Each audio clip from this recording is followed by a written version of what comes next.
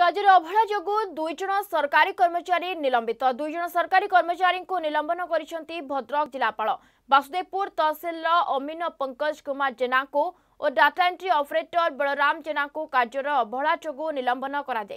পূর্বর এমানে বহু দুর্নীতি কার্যের সম্পৃক্ত থাকা অভিযোগ হয়েছিল